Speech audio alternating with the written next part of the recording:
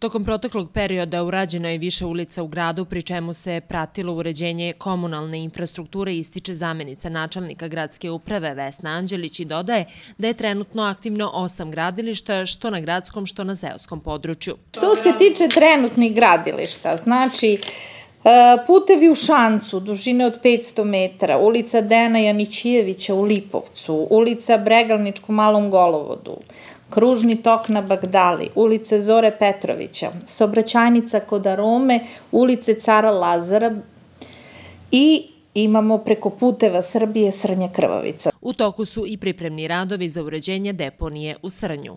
E, moram reći da nam je najvažnije Srnje kao jedan od prioriteta i samim tim što se nalazi deponija u Srnju, a i bit će jednoga dana regionalna deponija, želimo tim ljudima da ipak poboljšamo kvalitet života, tako da prvi radovi e, bit će tamo, već je krenulo nešto što se tiče e, sređivanja nekog maliničkog sokaka.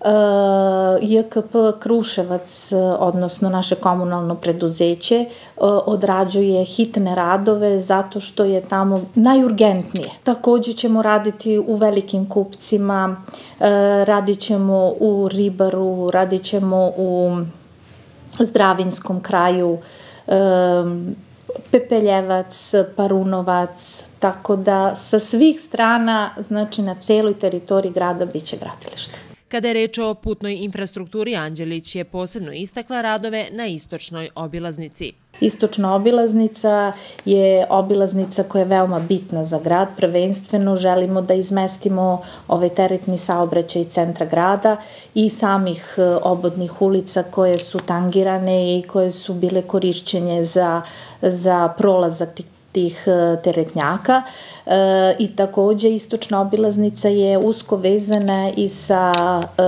ulicom koja je vezana za naš objekat prečišćavanja otpadnih voda. Tu rešavamo imovinske odnose i moramo krenuti što pre kako bi znači naš objekat imao prilaz i sa autoputa. Deo investicije grad Kruševac finansira iz sobstvenog budžeta, ali ima i veliku podršku brojnih ministarstava, kazala je Anđelić i podsjetila da će upravo Ministarstvo privrede finansirati uređenje Kosovske ulice.